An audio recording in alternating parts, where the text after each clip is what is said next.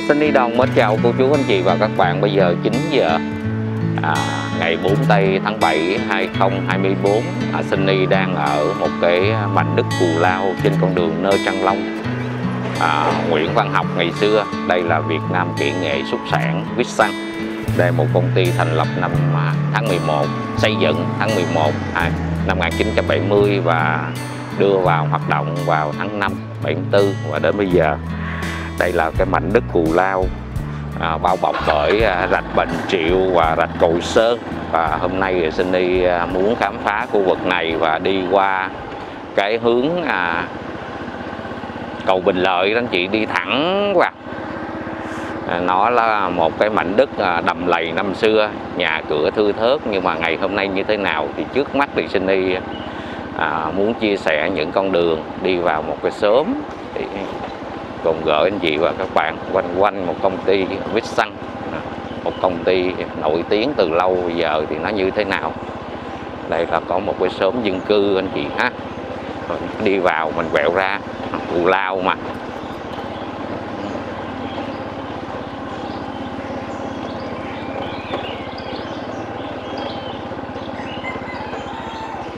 Rất là hoang vu. Đây nhà trống, đây là những cái nhà rồi những cái sớm nè đó. quá trời bên chợ trong kia là bích rồi. Nó giáp lại à, dòng sông rồi anh chị. Thôi tới đây à, quẹo lại anh chị. Chó nhiều quá lát nó dí là hết đi luôn á cái đó. Nhưng mà cái bích rồi bây giờ mình sẽ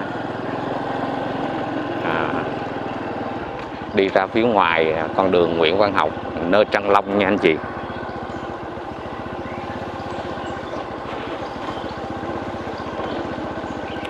À, cái việc mà xây dựng cái à, nhà máy vít xăng ở đây thì cũng rất là tiện lợi. Đường bộ cũng dễ và đường sông cũng dễ anh chị. Nó có à, hai con rạch rạch Bình Triệu và rạch Cầu Sơn.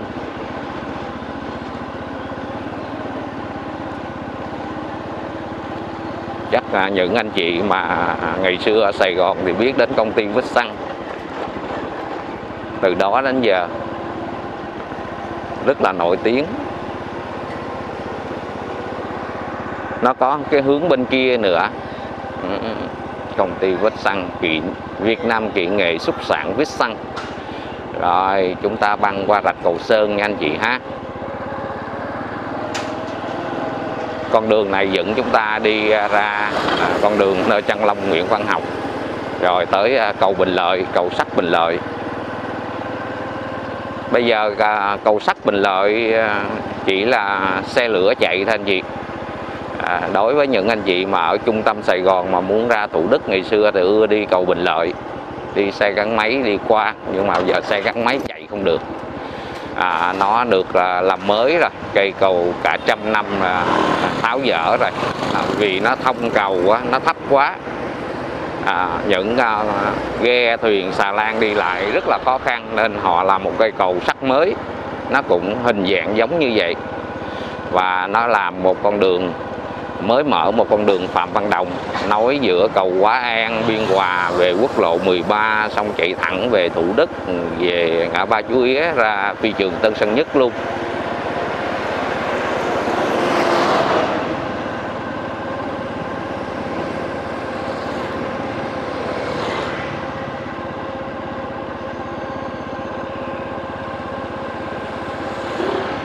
À, đây là lần thứ hai Sunny đi vào đây đó à, bên trái à, con đường Nguyễn Văn Học nơi Trăng Long là chúng ta về à, nhà thương gia định, rồi bên phải là về cầu Bình Lợi. Và khi mà tới à, quẹo phải này anh chị sẽ nhớ nó có một con đường đất đỏ nó có một cái cái chợ cái chợ nho nhỏ. À, để à, dẫn lên cầu Bình Lợi nhưng mà bây giờ nó trở thành một cái à, công viên rồi. Chứ à, lúc đó thì năm 1992 thì Sydney đi ra đây nào là thấy con đường đất đỏ rồi à, xe lam cái chợ buôn bán cũng rất là nhộn nhịp. Con đường nó cũng nhỏ nhỏ và đối với con đường này thì lúc trước nó hoang vu lắm. Tại vì à, vào năm 2000 thì Sunny à, có thuê trọ ở nhà thờ Fatima. Thì con đường này là con đường đi về của Sunny đây về nhà trọ phòng trọ. Nên à, Sunny cũng dành khu vực à, con đường này.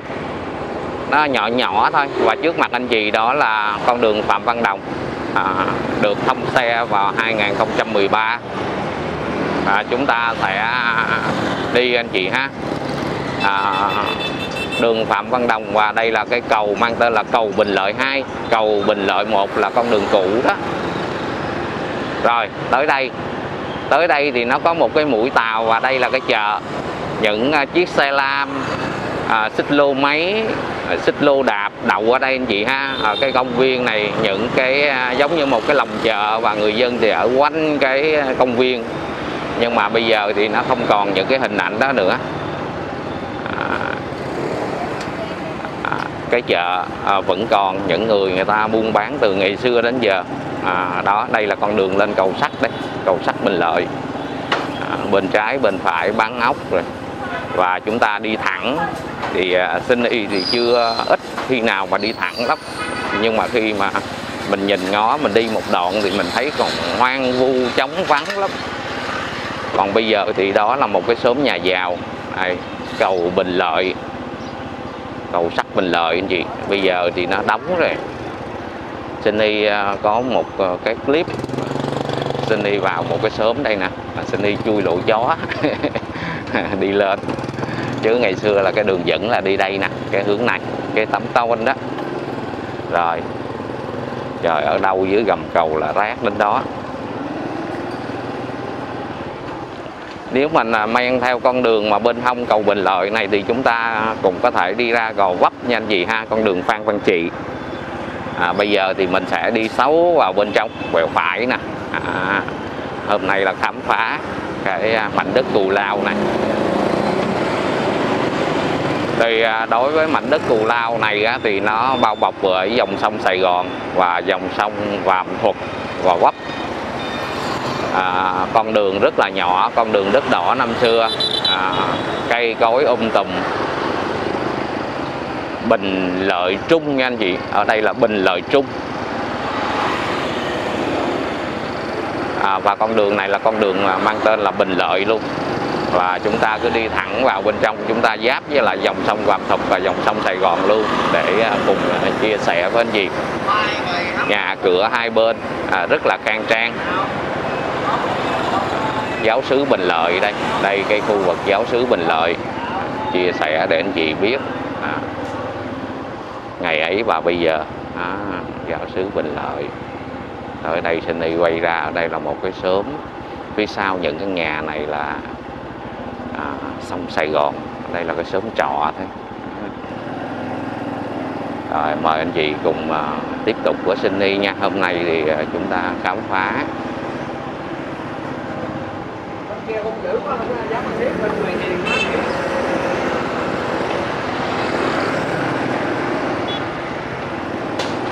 đây là cái khu dân cư mới thôi chứ à, ngày xưa là giống như là một vùng thôn quê.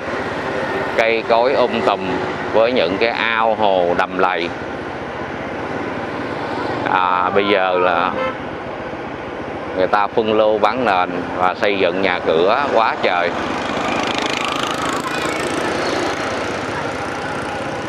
À, đây là con đường Bình Lợi phường 13 quận Bình Thạnh.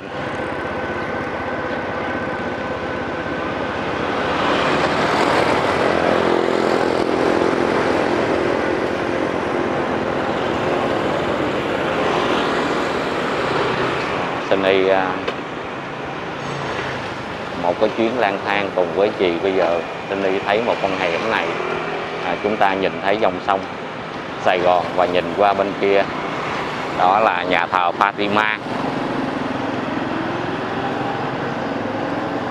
Dòng sông Sài Gòn và nhà thờ Fatima phía trước mặt anh chị bên kia sông. Nhà cửa khang trang rất là khang trang. Quá trời nhà cửa. Phân ra phân lô ra.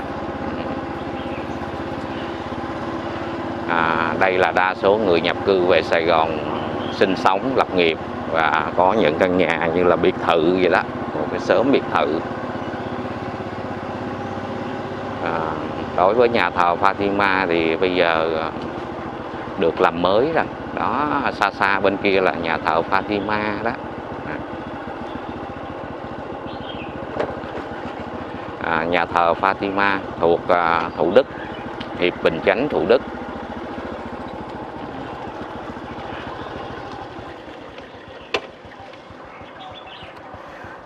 Chia sẻ với anh chị nha. Nhà thờ Fatima trên quốc lộ 13 và cái hướng này thì chúng ta nhìn thấy cầu cũ và cầu mới. Cầu đỏ đỏ là à, cầu Bình Lợi mới và cái cầu sắt. Nó còn một chút xíu thôi, là cây cầu cũ thôi. Xe lửa sẽ chạy qua.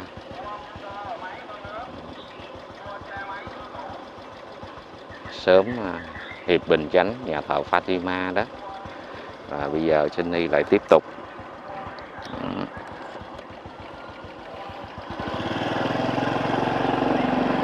Rồi những cái à, những cái nhà vườn cả quá trời đẹp.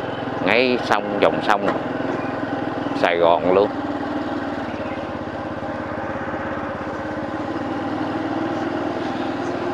Đi như vậy mới biết được cảnh giàu, cảnh nghèo. Có người sao ta giàu dữ lắm. Những cái mảnh đất rất là đẹp. Mà họ có quý một cái mảnh đất lớn, họ xây à, dạng như biệt thự. Nó có bến à, thuyền luôn, của tư nhân luôn người thì ở cũng là con sông đó, con kênh đó. Người thì ở lập sụp trong những cái nhà nhà sàn. Ọp ẹp với thời gian. Âu cũng là cái duyên số, duyên nợ anh chị ha. Rồi, chúng ta sẽ đi vào bên trong. Cứ đi thẳng đi thẳng.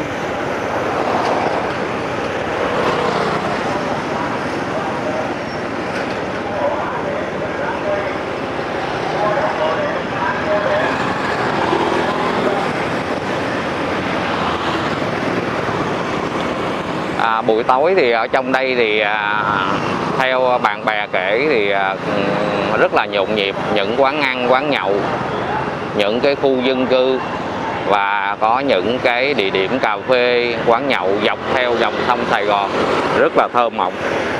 Buổi tối lên đèn rất là lung linh tận dụng cái bờ sông để người ta làm quán nhậu quán sân vườn.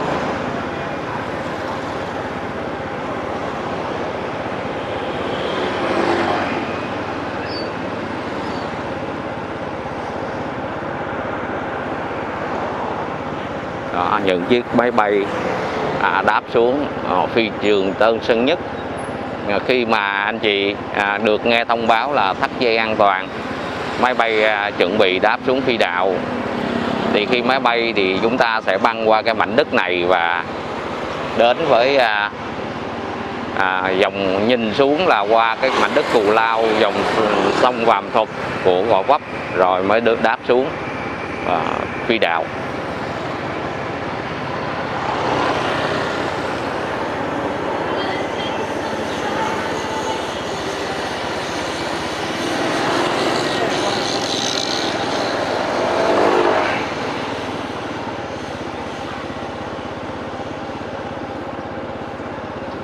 à, nói chứ thật sự mà một số à, cô chú anh chị à, sinh ra và lớn lên ở à, Sài Gòn thì chưa chắc gì đã đi chỉ đi đi ngang ngay chỗ cầu Bình Lợi thôi chưa chắc gì đã đi vào trong cái khu vực này. À, nên xin y cứ mách bảo à có thể cô chú anh chị chưa đi thì mình cùng đi với nhau.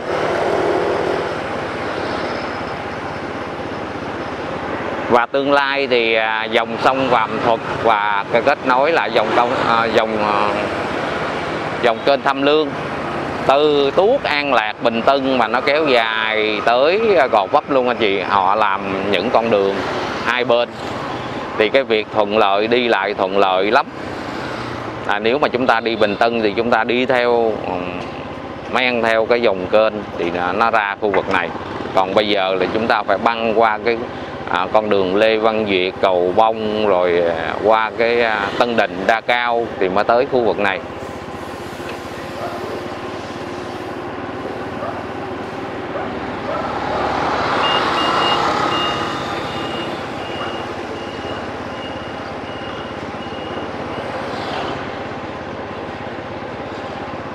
những hàng quán những à, trời ơi, cái quán quán nhậu rồi quá lớn luôn kìa ngay dọc dòng sông.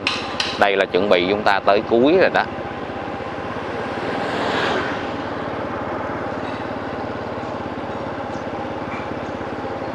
À, đa số là người ở đây người ta về người ta sinh sống ở xây nhà ở thôi.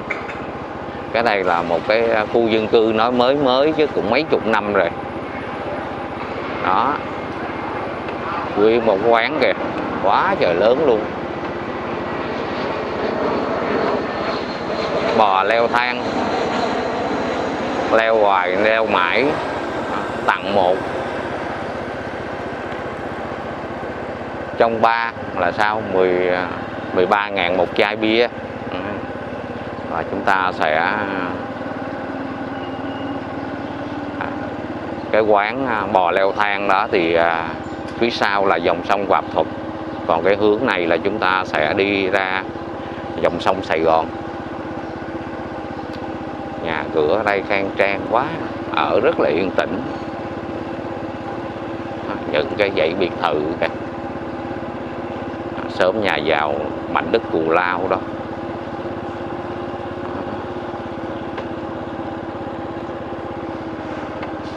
À.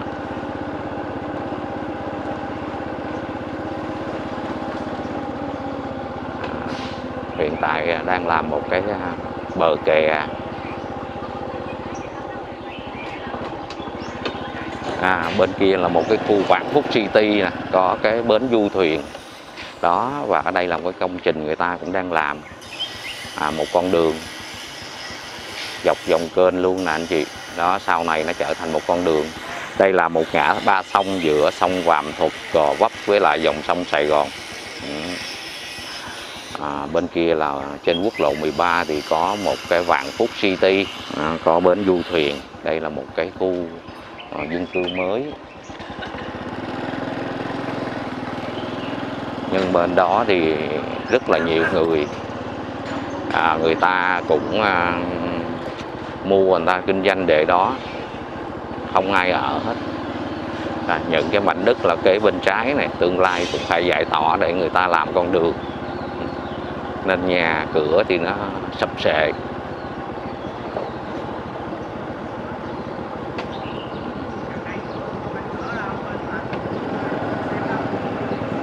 quá nó dặn kỹ rồi ở đây thì à, yên tĩnh, nhưng mà đường phố thì thích à, thấy à, nó cũ kỹ, nó không có người chăm sóc, cây cối thì nó không được cắt tỉa. Nhưng mà đối với khu vực này ở thì đôi khi chúng ta bị thức giấc bởi tiếng động cơ máy bay đây những cái quán cà phê dọc sông này những căn nhà biệt thự. Quá đẹp.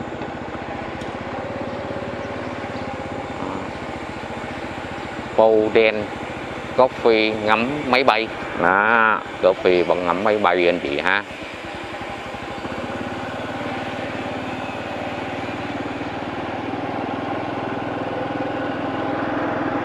để mà ngắm máy bay rõ nhất là chúng ta tới những cái quán cà phê trên con đường Quang Trung. Nó gần lại phi đạo thì cái việc ngắm máy bay quay phim chụp hình thì nó rất là dễ dàng. Còn à, máy bay ở đây nó còn cao lắm anh chị. Còn cao mình ngắm không không không đẹp đâu. Đúng là máy bay có nhiều hãng nó có màu nhiều màu sắc khác nhau. Ừ. à, Sunny cứ ờ, cứ nói hoài bữa nào đi ngắm máy bay chia sẻ nhưng mà bây giờ công việc thì bận quá làm sao mà Sunny cứ đi dọc dọc đó. Tuốt trong kia, không biết có con đường đi không? Mình cứ, thôi mình cứ đi anh chị. Đi có có. Ờ.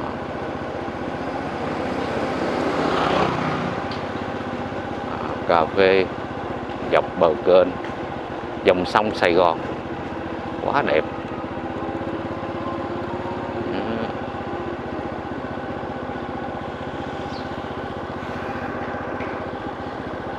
Đối với à, người dân ở đây thì cái dòng sông Sài Gòn thì nó thoáng, nó không bị ô nhiễm. Chứ không là dòng à, một cái dòng kênh nào đó nó giờ ô nhiễm lắm. Quán ăn Ngọc Thủy dòng dòng sông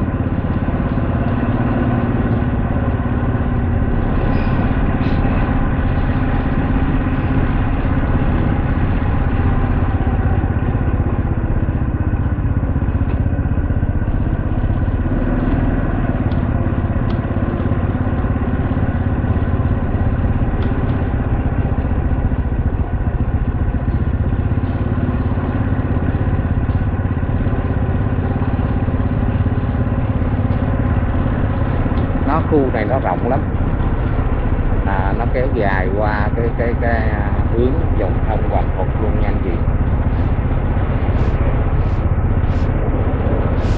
Sông Vàm Thuật à, Sunny đôi khi cũng nói nhầm. Thuật mà cũng nói thụng thụng không à. Đây. Ẩm thực. Khu ẩm thực.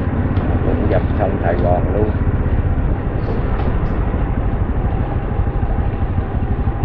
Ẩm thực bến sông dê quay hải sản tươi sống đặc sản ba miền. Đây là ban ngày thì bán cà phê người dân ở đây buồn buồn chiều chiều ra đây ngồi uống cà phê ngắm dòng sông Sài Gòn cũng rất là thú vị. Rồi cái hướng này thì chúng ta ngắm được bình minh. À, đây là những cái quán ăn. Thì hiện tại thì để buổi tối Sunny sẽ khám phá khu vực này. Bây giờ thì mới sáng sớm thì cái việc ăn uống thì nó chưa có thể nào chúng ta nói à đây vắng được. Sợ tối đông lắm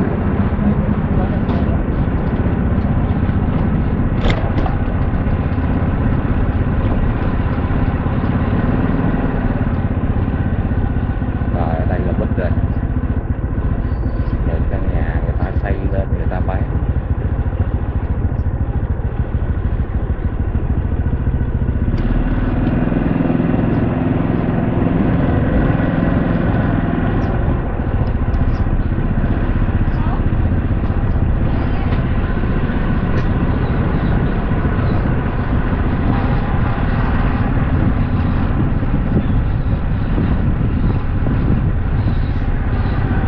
đất đai đây cũng còn nhiều thôi mình à, sẽ đi thẳng ra làm gì đi thẳng ra rồi mình qua bên cái hướng bên kia và mình à, nãy giờ là mình đi dọc theo dòng sông Sài Gòn bây giờ thì chúng ta tới dòng sông Hoàng Phục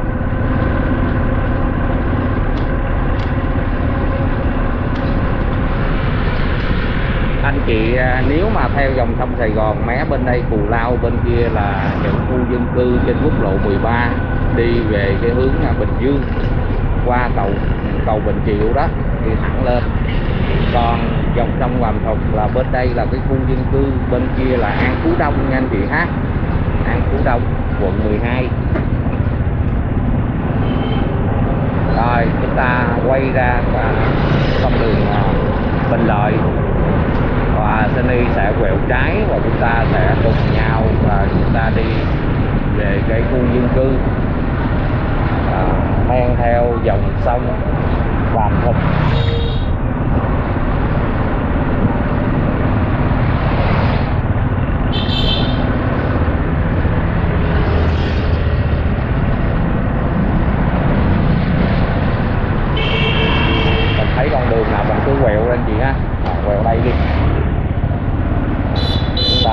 phá mà. Nên thấy gì, con đường là chúng ta cứ đi. Đi rồi chúng ta hiểu thêm cuộc sống khu dân cư ở một cái nơi nào đó. Chúng ta đi qua nhìn hàng quán, nhà cửa, cách ăn mặc cung cách phục vụ thì một phần nào đó chúng ta hiểu được cái cuộc sống này ở đây nó như thế nào. Một điều đặc biệt thì đây là một cái vùng dân cư mới à, nên là không thấy những cái nhà lụp xụp ban là những cái biệt thự không gì những cái dinh thự, những cái biệt thự người ta xây mới đẹp lắm quý một khu. Đây sớm nhà giàu. Ở đây thì à, rất là yên tĩnh. Cảm thấy bình yên. Yên tĩnh lắm.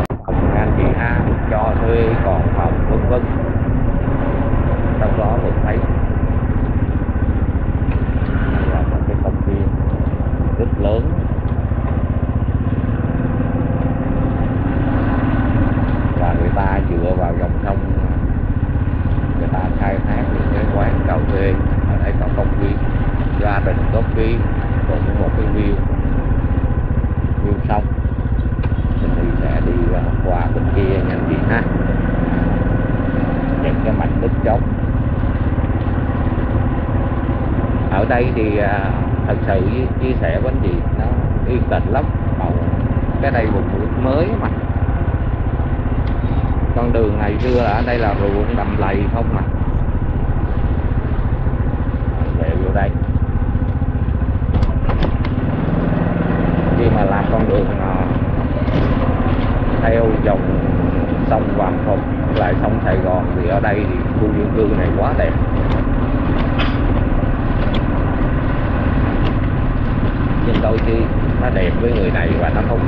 kia, cuộc sống mà có người vui rất là vui, nhưng mà có người rất là buồn, cũng vì cuộc sống mưu sinh đó có người thì xài tiền hết, có người ký hoài không ra.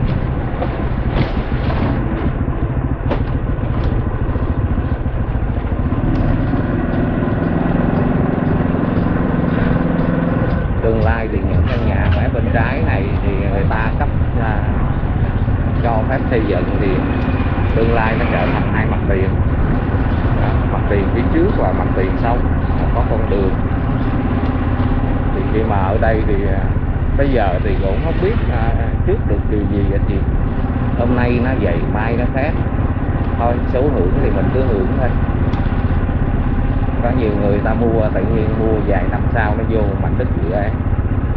Thế là bây giờ cầm cự luôn gồng gồng luôn gồng gánh luôn.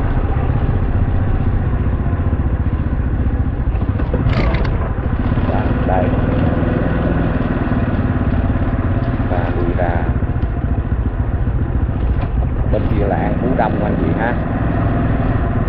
À, lúc trước ở đây là một con đường mòn đấy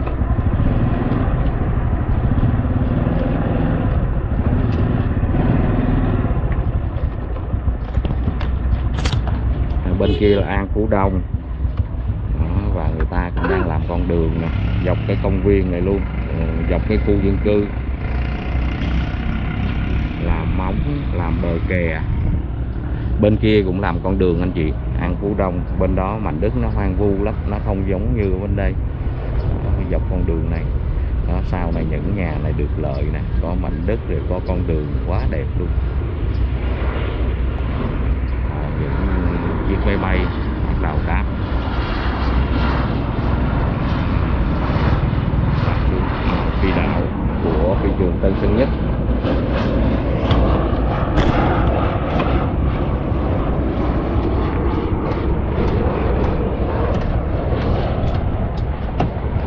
con đường này nó lầy lội lắm mình đi không được đâu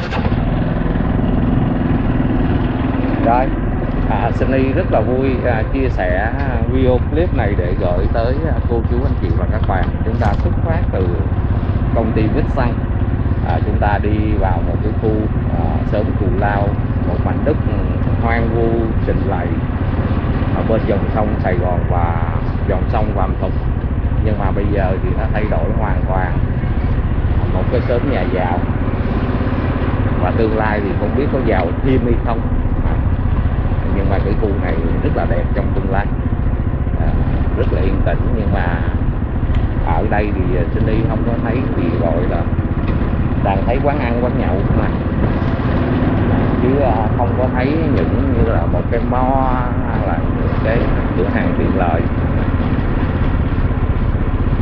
Nhưng mà tương lai thôi tương lai. Rồi xin đi à, xin chào cô chú anh chị. À, hẹn gặp lại trong video clip sau. Hôm nay rất là vui khám phá một vùng đất đầm lầy hoàng vu năm xưa. Nay thay đổi hoàn toàn. À, bye bye. À, và không quên kính chúc cô chú anh chị luôn ờ, vui vẻ à, hạnh phúc trong cuộc sống.